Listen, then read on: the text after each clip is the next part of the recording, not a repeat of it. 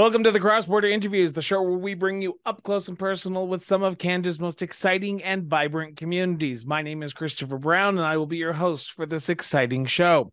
Over the course of this series, we will be sitting down with local elected leaders from across Canada to learn about who they are, what drives them, and how they are working to make their communities a better place for everyone who lives there. Now, we believe on this show, surprisingly, that the best way to understand a community is to actually talk to people who live and work there.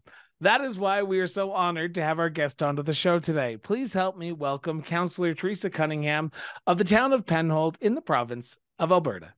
Teresa, welcome to the show. Thank you, Chris. I, I appreciate the opportunity to come and chat with you. Thank you. So, this is my first interview I've conducted uh, while being on this show where I have met the person prior to the oh. interviewing being conducted. While I've known people, I did not know you prior to us meeting. And this is, ha- and when we, I went up and visited Penhold, I got a tour of Penhold. So when we talk about tourism, I'm going to know some of these locations. So this is a unique interview for myself. But I want to start with the question I start with all my interviews, and you're no exception. Teresa, where'd your sense of duty to serve come from? Um, probably I don't know, as far back as I can remember, I've always just been a helper. Um, so like uh helping at the library after school, you know, voluntary time there. Um just uh I don't know, just uh, just always always that way. Like uh even you know grade six i'd bike across town and go help my mom make beds at the inn she was working at and stuff and um so the like that that part of it's always been there the the community part um, as far as the council part goes, um, I already was pretty involved in our community as regards to like volunteering uh, through um, my kids are in two different schools here. We have three schools in in town, so my kids are already in two different schools there. I was on the museum board. Like I just, yeah, if there's something that needs done, I'm I'm there to do it. So yeah was politics discussed at the dinner table growing up? Was that something that was discussed? And more importantly, because it's a municipal show, we know that people mm-hmm. talk about federal politics and provincial politics. Was municipal politics discussed at the dinner table growing up? A uh, little bit, but uh, as far as the like, yeah, it was definitely discussed at the dinner table. Um, watching the news and whatnot at that time there wasn't a pause on the news so you just had to like keep zipped quiet until after the news was done and then the deconstruction and conversation would begin um you know I want to say, you know, my dad pretty well kept a thumb on what was going on. Um, you know, municipally, you know, provincially and federally. That was, you know, he he loved that stuff. So, um, you know it was it was discussed uh weren't really like super involved. It wasn't until i was actually on council and i also have a love of genealogy. I looked back and i found like my great great grandfather was a council person like 1916 in churchbridge saskatchewan and i hadn't i had no idea prior to this right? Like and and at the time they had um they had passed a bylaw about not having your horse. You couldn't have your horse tied up for over an hour on the main street. Otherwise it was stabled at your expense. So yeah neat things. I, it wasn't on my radar though. I'll tell you that. So I don't know what it is about Saskatchewan, but it is one of these provinces that a lot of family members come from the municipal realm. I have spoken to many councillors and mayors, and even myself. I have family members who were the former mayors of Biggar Saskatchewan, and you learn so much with genealogy. But I want yeah. to stick on you for a few seconds here because I know in the last election in 2021, you decided to finally put your name forward prior to that election, had you considered even getting involved municipally? Because in our conversation when we were touring, I know that you had moved around a bit, but ultimately in 2021, you decided to put your name for it. Was that the first time that getting involved in elected politics was something that was even on your radar? Absolutely. Yeah. It, it wasn't it wasn't for me it wasn't until uh you you know my husband as well as i had another lady uh also you know a few people come forward to me and talk to me and was like you should really put your name in. You you'd be really good at that. You know was already uh doing a lot of stuff like helped uh, found a citizens on patrol here in town and stuff. And so already had an idea as to how to chair meetings and stuff. So i thought oh okay well if these other people can see that potential in in myself you know what? Like for for all it's worth uh if i'm you know I, I might as well throw my hat in there and, and see um you know if, so just just to interrupt it, you here first you don't just to interrupt there yeah. for a second because i find that fascinating are you saying that it wasn't until people approached you that you decided you started to think the wheels started turning in your head and said maybe I should run because yeah. I've spoken to and I'm not trying to generalize here and I hate doing this and I hate asking I hate asking this question but for women it's harder for women to get involved in politics without being asked and I I say that because I've spoken to women in the past on the show who have mm. said it takes them about 8 times for a woman to decide if they're going to get involved for you was it an easy choice? And had you even like prior to someone approaching you and saying, Hey, did you want to run? Did you ever like consider it? Uh no, I did not oh. consider it. It was it was not even not even at all. Um I and then and then, you know, once it was, you know, people had come and asked, then I look try to look at everything from every single possible angle um, before coming to a decision. And then once I've made my decision, that is it. I'm all in. Right. So, um, you know, I, I weighed it. What's that going to, you know, because it's not just me that this affects, this affects my kids, you know, my husband, uh, you know, he, he works away a lot of the time. So this really is a juggling effect on, on my end. Um, so, um, you know, and, and like I say, with the kids, how am I still going to get them to and from, um, their school their events their their stuff right? So uh, that that obviously comes first. So uh, all of those things were considered before uh, putting my name in. But then once i decided to i i'm so so glad i did. So in 2021 you decided to put your name forward for municipal mm-hmm. elections. For someone like yourself, and I, have gotten to know you a bit over the last few weeks of uh, doing the show and talking to you one on one in in your truck you seem to have a pulse on the community. You seem to have know what the community may want or need with all your volunteerism work, with all with your citizens on patrol, with your time at the museum in Penhold. I want to know about that election period though, because when you actually go door knocking and talking to your residents one on one, you're going to learn some interesting things from them because you're going to learn about the macro issues like the education, healthcare, infrastructure, potholes, but you're going to hear about some micro issues. Were you shocked about what you were hearing at the doors during that election in 2021? No, not not really. not really because well no because i'm having all these conversations anyways right so yeah uh no i can't really say i was shocked uh with anything of it and and quite honestly going into uh this election um it was unlike and uh, you know previous elections because so many things uh you know um were online. Like when i say things so many so many different committees were on zoom.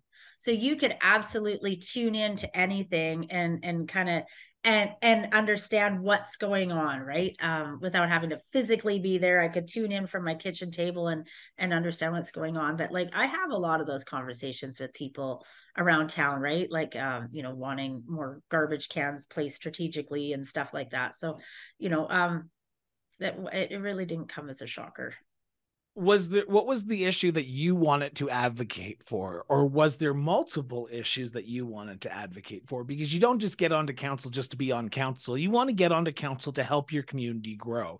You want to help your community prosper. For you was there an issue that you saw that you wanted to address if you were so successful in your election run that you said i want to be able to uh, uh, uh, help my community grow in this way or address this issue in my community um well with that i i'm one vote at the table so it's really it's really kind of weird to go along and say i'm going to go ahead and do this because that's not the reality of it right? Uh what? you, what are you talking about? I did not know.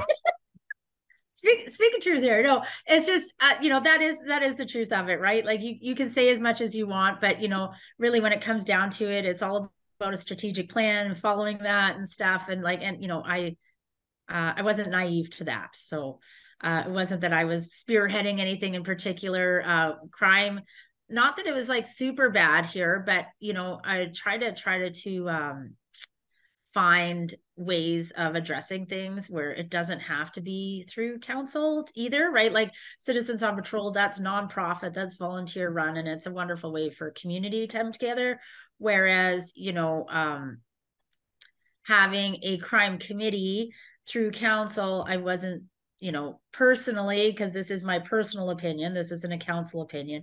Uh, I wasn't seeing like you you listened serving... to the show before, uh, counselor. Yeah. but I wasn't seeing where that was really serving in a way that it could. Whereas through a nonprofit, you know, uh, we were able to to help a lot more. I it, like I think so. Yeah. I want to turn to election night in 2021 because this is the fun election night. Because A, you get to go in and vote for yourself if you did not vote for yourself in the advanced polls, but you get to go vote for yourself. Uh, hopefully, you vote for yourself. If not, okay, maybe there's less of an ego on some people than others. But for you, going into that ballot box and seeing your name on that ballot, what was that experience like for yourself? Oh well, as I'm sure many of your your uh, people have said before, it's quite surreal. Um, I've worked with uh, Elections Alberta and Elections Canada before, just because I like the process. Uh, I think it's really neat. Uh, also, um, you know, we try to teach our kids about that, you know, like the election process and all that stuff too. So it was a neat way to show them about that as well. But um, yeah, it's really weird to go in there and see your name. Like it's um, it's Did it take a moment to put the X beside the name? Because for me, the first time when I saw my name, I hovered over it about 12 times to make sure I was voting for myself and not somebody else. Because I was like, make sure, okay, I'm five down, one over, put the X there. Was it sur- for being surreal? Did you take that moment in? Because you're oh, at that point did. putting your faith in the electorate that they're going to make the right decision, whether it be you, whether it be somebody else but for you that moment was uh, a, a big moment for a lot of people. How, what did you take out of that? Um it was it was it was uh it was like i say it was very neat to be able to see this uh as with my kids uh really was able to to show them that you know if you put your mind to it and you want to do something and go out and try to achieve it uh it's a pretty big accomplishment. Even if you know even if you don't get it your name's there. You but you, you get it. work but I, you yeah, get but, it. Yeah, but but at the end of it all, like I felt it's a very weird process going door knocking and putting yourself out there uh like that, you know, selling selling you to people. Uh it's it's so strange. Um but in that moment, you know, once you've cast your vote, that's it. You've you've done all you can do and it's not up to you anymore and there is a calm that kind of comes over you um kind of same thing when we got married i was like I've done all I can do to get ready for this and and the rest is just it's out of my control and then and then it, it's it's just yeah it, it's so a, it's, it's out weird... of your control but on election night polls close and after the counting's done the blue check mark goes beside your name and you are now the counselor elect for the town of penhold. What is the exact what is what goes through your head when you find out that you're the next counselor? What what what what what are you feeling at that moment? Do you remember? Uh, relief. you know, like okay, whew, okay, and then and then there's the anticipation for okay, now what, right? Um, uh, th- that you know, uh, and and even at that, that you know, that you're you're announced, and you know, um, I, I, was uh, I was the only new person on on council. Uh, the rest uh, had served already. Um, so you know that was different too going into it knowing that yeah i'm definitely the newbie in the in the in the seat. Um but it um yeah it it's that's one moment in itself but then the next day comes the next week comes and then there's a lot of learning to do to understand what it is that you know your role is. You bring up a good point and I, i've asked this question numerous times but i want to pose it to you as well there's a weight that people put on themselves when they go walk into that council chambers and particularly for someone who is the new kid on the block because you are elected the only newly elected counselor on your council in 2021 how much weight and responsibility did you put on yourself to make sure that you were performing at the same level as those re-elected counselors but also understanding that if you ask questions it's okay if you ask questions because there's a lot of new counselors out there who might be afraid to ask questions or might be afraid to put up their hand and say i just don't know and i need more information for you. What was that balancing act like to make sure you got things right but make sure you were doing it correctly as someone who was new to the process of governance um, well, very fortunate. Okay, so there's tremendous amount of pressure. Um, and I think a lot of that is just, you know, obviously I do that to myself. Um, go figure. Uh, but no, I mean, you know, I I I signed up for it. So if anything, if there's anything that I do, I'm going to see it through to the end. Um, so so there's a there is a tremendous amount of pressure with that, but I'm very grateful that our our CAO that we have He's been with our municipality for like 20 years. He's an absolute wealth of knowledge. Uh, our mayor, the the you know the other fellow council members, they've been very fantastic about asking you know if i have any questions uh, or how do i go about this and then you know they kind of laughed at me uh, you know one one thing i put a motion down and then i had to kind of strike my own motion and it's like well we've all done that you know because what was the biggest learning then you what was the biggest learning experience for you? Because there's a lot of counselors in BC, Ontario, Manitoba, PEI who just got elected in their first term. Now you're 2 years into your first mandate. What what was the biggest learning curve for you and what advice would you give these new counselors who are just got got elected and they're in their first 200 days of office? Uh advice I would say is just you know try to take in as much as you can prior to so you're you're not going in uh, uninformed. Um, biggest learning curve, I would just say, is uh, just the balance, right? Like I want to, I want to do all things. I want to, you know, be at all all the council meetings, all the committee meetings. I want to do all the the stuff in the community, but finding that balance is pretty pretty tough sometimes. Um, Have you found as well it? as I'm still learning that one. but because because pretty busy outside of council as well, right? So yeah. so I want to know from that experience then, because you're right. You you seem like you're very engaged in the community. You seem to want the best for your community. But there's days that you want to just be Teresa, I'm assuming. There's days that you mm-hmm. just want you want to be mom, you want to be wife, you want to just relax at home with the kids.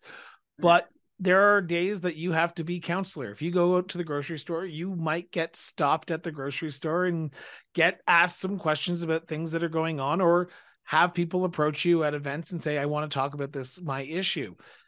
How do you balance that? And do you find it tricky being a local counselor because you are in your community so much, not in Edmonton or Ottawa doing your job? You're in your community. I don't mind if I'm at the post office and somebody chat stops and wants to chat. My kids mind because they're like, "Come on, mom!" Right? like, if we stop at the kids library, don't go like, with mom to the post office because it takes them two hours to go. exactly. If we stop it at the multiplex, you know, and chat with the ladies at the library, or you know, um, just uh, that that part is yeah. The kids kind of have an issue with that.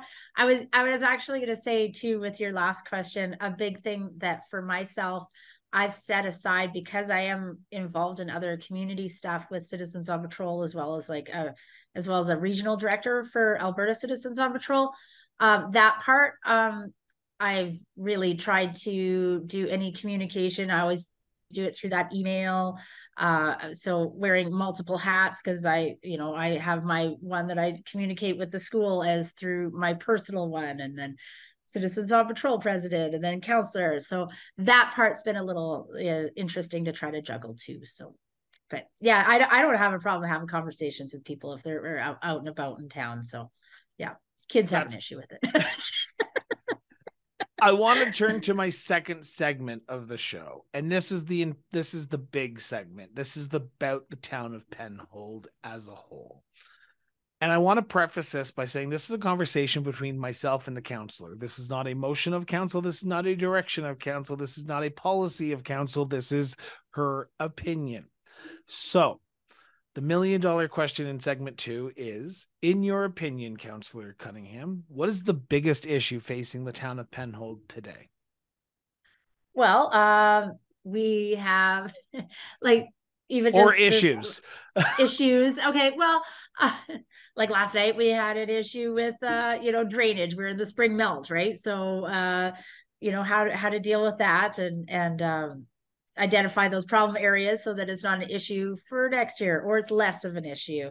Um you know uh there's truck parking and there's um uh right now one of one of the things that actually like our last council um identified um was they did a questionnaire things that were identified were that were important to the people of the town were trails. Uh, second on there was dog park so we've we've done a lot of work with the trails being able to have our community hub area. Uh, we recently got the alberta transportation funding grant. So which all just works into our strategic plan there but now dog parks number it's a big one. It's a big hot topic. So and we're trying to do work to identify that. Uh, we set aside when we had an open house with Alberta Transportation, we also had a map set up with different areas identified for a dog park, cost, what that might look like, and stuff, and just try to, you know, get a conversation going with people like, okay, if we do a dog park, there is a cost to it. Where would you like it? And, and you know, that sort of stuff. So, yeah. Community engagement is a good thing. I think there's a lot of people out there who would say that people need to get being more engaged with their municipalities. I'm one of those people you talk about the dog park and i want to stick on that just that issue but not just the dog park but in general dog park. Yeah. and that made no sense to me so hopefully it made sense to you. So i want to know you can go and engage with your citizens 100% of the time. You can go engage with every single member of your community. They will all give you different opinions though. They will all give you different issues or they will give you different uh, reasons why they believe a dog park should be in certain areas of the town. You, as counselor, have to make the final decision, though.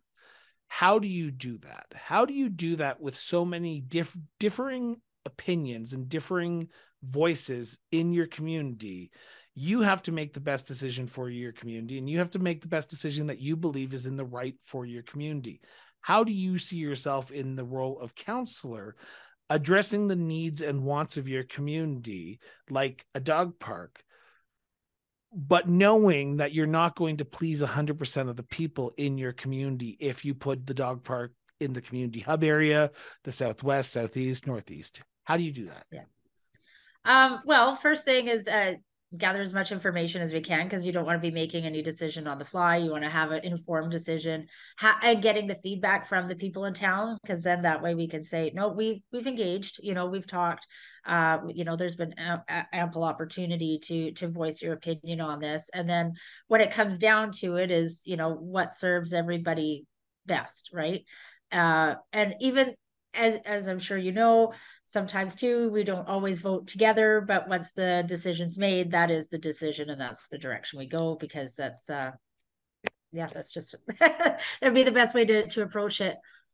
Well, how does respect come into play then?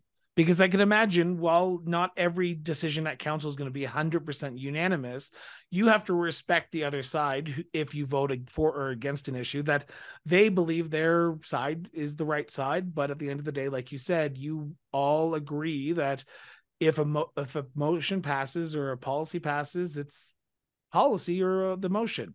How much yeah. respect do you bring into that table to ensure that while you may have dissenting voices against what you believe is right, you respect the other person enough to say, okay, I believe you have the right to talk and I believe you have the right to voice your opinion. But at the end of the day, may the best person, best side win, not best person.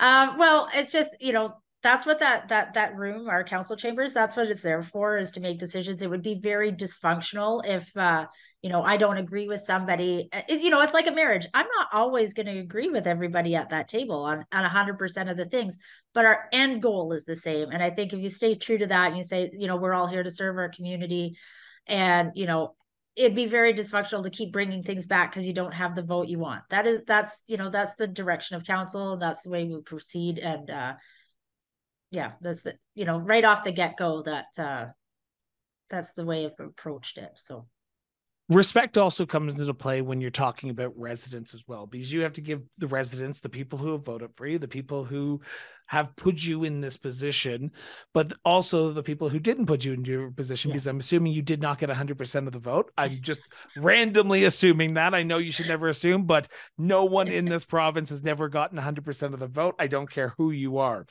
um, I want to know though, how much respect do you put into listening to all sides of an issue when it comes to uh, certain projects or certain funding uh, projects that need to go on in your community? Because everyone has the right to be heard, and you as counselor have to be respectful in listening to every side of the issue. Oh, absolutely. I mean, I think I think a lot of times it's not that you have to go not convincing people by any means but i think if you kind of explain as to how you got to the decision you know or how council got to the decision that they did i think a lot of people understand that. You're like oh okay i didn't see it from that way either right? I think people are really open to engagement and and uh you know and hearing that right? Because it's not that we just okay, that's just the way we're going to go. That, that that's not it at all. There's a lot of work that goes into it behind the scenes with administration when things are brought forward to us. So, um, yeah, I, I think I think if you're just engaging with people that way and, and explaining uh, the why behind things. I mean, we do that with our kids. I won't just say no. I say no and I explain why, right? And then all of a sudden there's a there's a better understanding that comes from that. There's so I, have asked this question a little bit beforehand, but I'm going to reword it a little bit because I want to get into the crux of this segment. If I go talk to 100 people in your community, which after you dropped me off at the bakery on Sunday, I went and I went and chatted at a few with a few people at a local coffee shop, and I asked them what are the hundred what are the most pressing issues in your community. Now, there was a range of issues that they talked about. They talked about healthcare, they talked about uh, education, they talked about infrastructure upgrades, they talked about potholes as well. And as you can imagine, potholes is one of these things that always will be there. No matter what happens, potholes will always be around. You, as counselor, have to look at all the issues that people bring to you. And when it comes to budget, when it comes to strategic priorities, you have to navigate a system where you have X amount of funding for projects yeah. and X amount of funding for potholes, X amount of funding for this, that, and the other.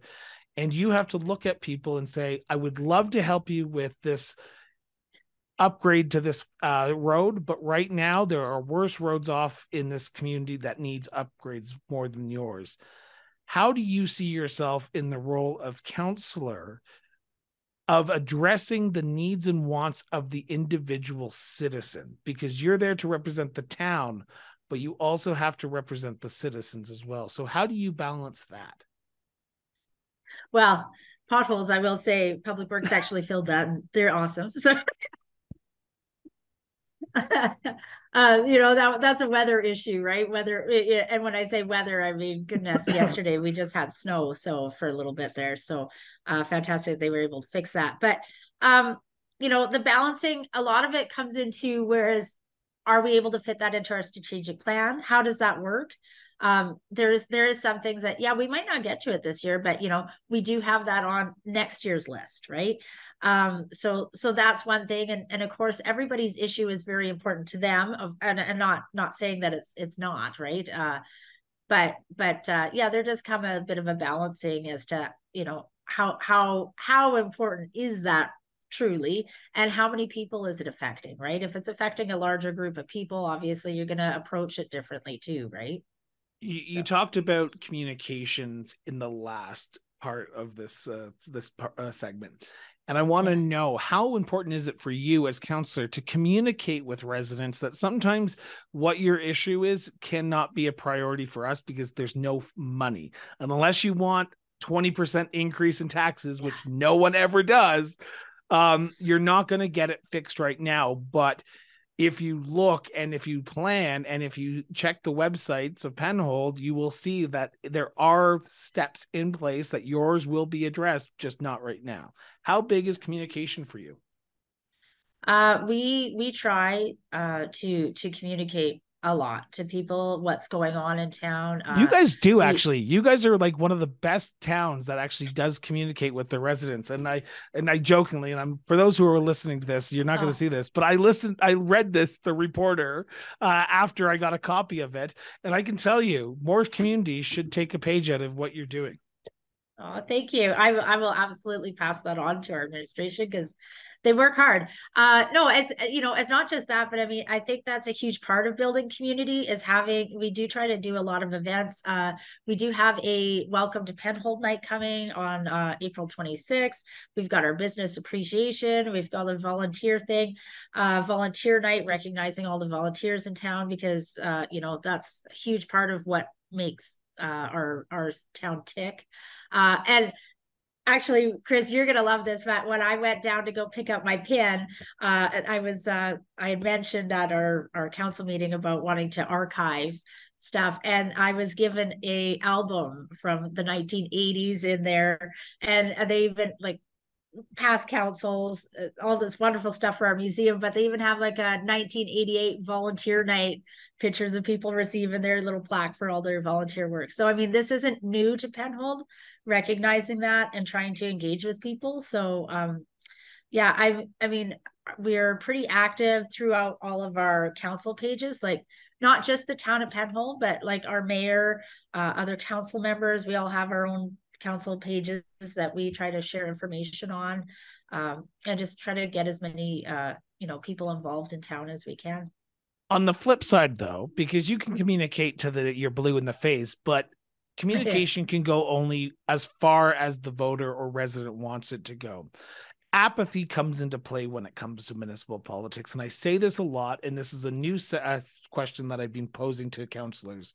For you how is the town of Penhold uh, engaged with its residents and are residents engaged with the town?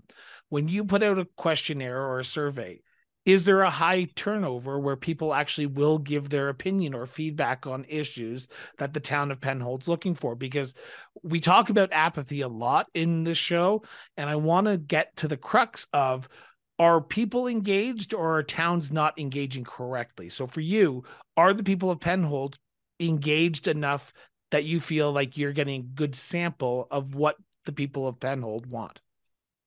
Yeah, I would I would say yes. We we just had a open house. Uh, pardon me, when well, not that long ago with our uh, transportation minister, we were gonna we were going to have a uh, traffic circle. They've now since taken that back to the drawing board. They're going to reconfigure it, make it a bit bigger, which you know make makes sense to uh, if you're going to go ahead and do it do it for looking for down the road right? Um but we had a really good turnout you know for our community. I thought it was a really good turnout. We had questionnaires. Uh it was a nice chance to talk with us talk with the minister talk with the gentleman that actually the engineer had done up the drawing and stuff too so um we do a lot of stuff through pardon me too through um through our library. There's a lot of engagements and different things that we try to do down you know downstairs through there uh our appreciation night or well, no sorry not appreciation night. It's our discovery night. We did like a barbecue. We had a questionnaire set up then you know uh and you know any opportunity that we have to kind of take a the pulse of the town so to speak uh, we try to do that. And they're not and residents aren't afraid to give their opinions? No no, I, I haven't run into it yet, right? I haven't run That's into awesome. it. Uh, yeah. so I want to end this segment on this question. Since my last conversation with a, uh, a elected official from Penhold, the mayor, um, there's been a lot of changes that have happened in Penhold. Um, what's the big one that you would want my listeners and viewers to know about that you would say, you know what, Chris, this has been a big success in the town of Penhold because over the last few months since October, that's right, only in October when we last when we talked to Mayor Mike, uh, has oh. things changed. What would that what would that X be for you about what has changed and what would you want people to know about? Okay, I've got three X's. Sorry. Let's do it. Let's it. do all three. Okay. okay. We have our community hub area, which is wrapping up. Uh, and that is a project. It was a $1.5 million project that went in. Uh, that is uh, our it's just south of our multiplex. Uh, so that gives us a gazebo. There's bathrooms. There's an area for people to come and do uh, barbecues. we have got our benches purchased and garbage cans and pathways and it's just a wonderful gathering space uh you know in our great big field that we have south of the multiplex near to our skate park and our uh, soccer fields uh, so that that's a wonderful addition to the town. I can see lots of town events happening there. I can't wait for the first wedding to happen in that gazebo because i know it's going to happen. It's a um, beautiful gazebo. It is. It's almost wrapped up. But and then we also uh, we were confirmed to have the alberta transportation funding grant come through. So that's more connectivity in our town more trails. We often hear from people uh, also coming in from outside of town how much they love that we have our trails but how much they love that we have lit trails. As you saw too even just in our drive how many people are out walking and how many people are walking with their dogs and stuff? Like you just happen to come on a, on a nice day right? But there's a lot of people out walking. Like and i think you know a lot of people are they they, they enjoy that the the being outside part you know um waving hi to your neighbor as you're cruising by. Uh, you know that, a lot of people another... too, because a lot of people were waving at you. I'm just putting that out there right now, Teresa. yeah. but uh, you know, that that's a that part was part of our strategic plan is just was, everything just kind of fell into place here with that but it really enhances that area around our multiplex it's just such a lovely compliment to have that alberta transportation fund come in and then also we also got the approval for a new middle school so that new school will be near to the multiplex as well uh, sharing the bus loop with our existing high school um, that's uh, grades four to eight. So we do have K through 12 here in town, which I know you were quite surprised. Like, oh wow. And you know, it, it's it's pretty fantastic to be able to have our kids here. You know, it's I like I say, I had to run down, to, you know, run up to the office and go get a pin. I was back home in like five minutes, right? Like it doesn't take that like zip zap and you're done, but you're back home. And it's wonderful that like the kids have a chance to bike to school from wherever in the world they are in town. So those so are those are three great big things. They they are, and when I was giving getting the tour uh, from Councilor Cunningham, and I can tell you, and this I'm not sure if it was just because she was all excited that I was coming and she really wanted to show off, but there's when you spoke about your community, there was a passion in your voice that I rarely see with some elected officials. I'm not saying all, I'm not painting a broad stroke, but you're doing it for the right reasons. And I appreciate you taking time out of your busy schedule to do this interview. But I want to turn to my last segment. And this is my fun segment because A, I got to know what you're about to talk about before you even talk about it. So, councilor, I can't say I'm going to come spend my economic dollars in your community because I've already done that. I've already been to your community and I spent money, but I will be back because I want a tour, a true tour of the multi uh, rec center, uh, yeah. multi use facility center, or however you want to call it. Sorry. So, councilor, in your opinion, for my listeners who are across Canada and around the world, if they come to Alberta, they need to stop in Penhold. What are some of the hidden gems that they need to do if they're there? Okay, well, uh, thank you. Yeah, I, I just I feel so awful that you weren't like when you had come through. We holiday Easter holidays, so uh, our multiplex was closed, but our multiplex is absolutely something to stop in and check out. Uh, it's it was built 2010 but it, it's it's a pretty impressive building. There's uh, like a hundred thousand square feet in that building. So uh, in there on the weekends, there's you know Penhold Seasonal Market, which is there. Uh, we have uh, arena. We've had the Hlinka Cup there twice now. We've hosted, which is pretty big deal for our town. Um, we've got walking track. There's uh, our exercise area. There's uh, our our we've got meeting rooms there, our libraries there, municipal offices upstairs, uh, gymnasium. Like when we have our big uh, Remembrance Day ceremony, because it's a multi-use. It was built with a multi-use purpose in mind, so that we do share some areas with the high school. So there's a great big partition that will open up, and then we can have our entire town come together for Remembrance Day. That kind of stuff. Uh, one moment. I'm so sorry, Julie. Not right now, please, sweetie. Thank you. Cutting this That's out. All right tourism but uh no like that that would be that's one that that's one of the the places to check out uh and I, like when you come through again i really hope you do we've got a lot of uh neat penhold history up on the walls as well um like I say you, you'd love that uh and then as well as like our our museum we've got uh that's a that's a really fun point where we are we've got a old caboose there so uh in June, July, and August, our museum, we try to have that open from six till eight. And during that time, we have the museum open, we have the caboose open, as well as we have uh, our little ice cream shack, which is our little hidden gem. Um, when we serve, we scoop ice cream out of there. It's all it all goes back to the uh, our Penhold uh, and District uh, or Museum Society, right? Oh, so wow. um, yeah, and it's just it's uh, a very neat way to engage with people uh, and like i we, we had to do a renovation and um, it was a pretty pretty significant renovation for that little shack and i had every day that i was there like like blood sweat and slivers went into that building to get it back up and going. But every day i was there I, I would have people pull in to that pull out and ask when is when is the ice cream shop opening up again? When is it opening? And um, I I knew it was missed by the community, but I really didn't I didn't have I didn't understand how much. Like people will bike down there with their kids in the evening and uh, sit and have an ice cream, and it's just it's the most wholesome thing that you will ever see. I just I I love that.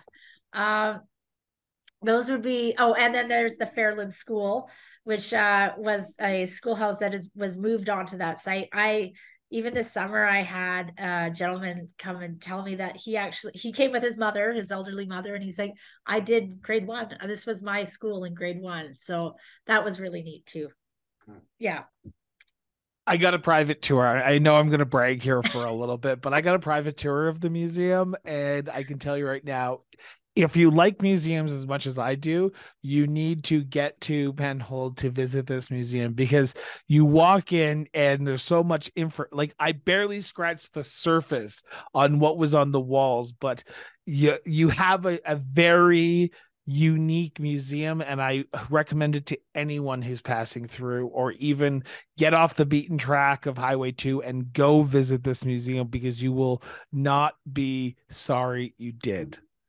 There's my, there's my yeah. there's my shameless plug for you, Teresa. Well, and even those train enthusiasts, the chance to like be in be in a caboose, right, and sitting up in the cupola is kind of cool. So, yeah.